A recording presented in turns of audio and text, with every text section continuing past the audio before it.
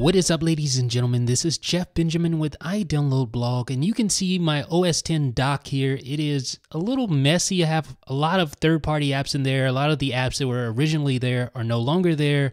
I've even turned the magnification on in the dock. It's resized, as you can see here, etc. So, what I'm going to show you right now is how to reset the dock back to factory defaults. Make the dock look like it did when you first installed OS 10. And that is the point of this video right now.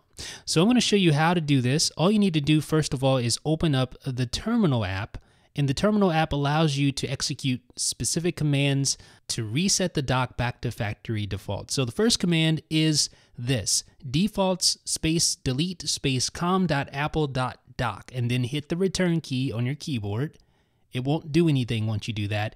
What you next need to do is to actually restart the dock. And you do so using this command, kill all space dock. Now this will cause the dock to restart and then you'll see your changes take effect. So now let's go ahead and show you the full view of my monitor and you'll see the dock here. So there's the command ready to go.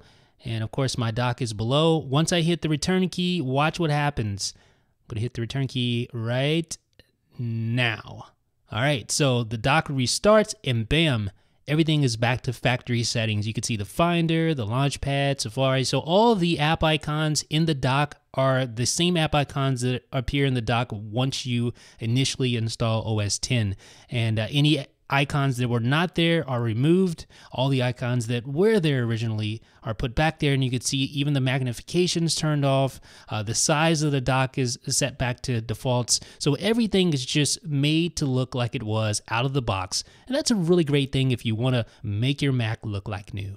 So, what do you guys think about resetting the dock or the ability to reset OS 10 back to factory settings? Do you think Apple should include the ability to reset back to factory settings easily like you can in iOS, or do you think everything's fine as it is? Leave me a comment down in the comment section and like this video if you found it useful. Let me know what you guys think in the comment section. This is Jeff with iDownload Blog.